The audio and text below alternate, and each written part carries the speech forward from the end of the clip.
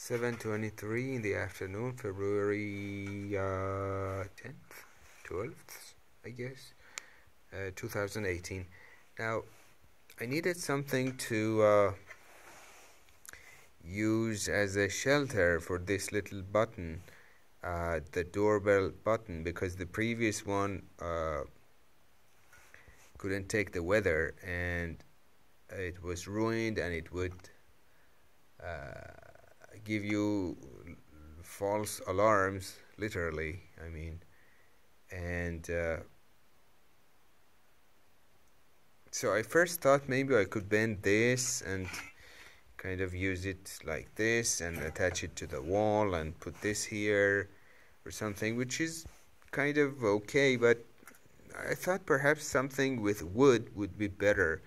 I'd have to go to the carpenter and order something. It would look nice then going through my toolbox I came up with this you know what this is but uh, I thought perhaps I could use this and uh, next time when I want to replace this with uh, a new one of these maybe I wouldn't have to go to the carpenter and order something special.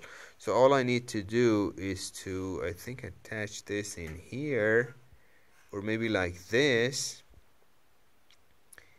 And of course before that bend this this way and screw this part to the wall secure it to the wall the wooden part and bend this uh, metallic part like this and then attach this uh, here uh, to the wall. I think it would be okay. Uh, I'd of course first have to um, uh, open this up with one hand. It's too it's a little difficult to use one hand. But anyways open this one up. Uh, it's very difficult to do it with one hand. And yep.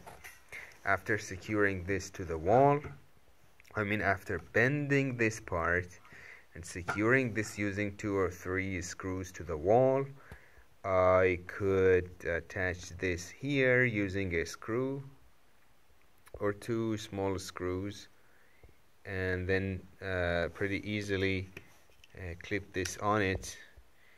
And in case I want to replace the battery I could just use my screwdriver and unclip it.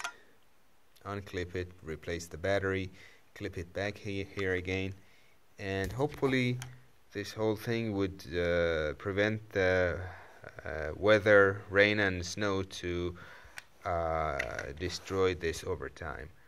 Um, we'll see. Thank you.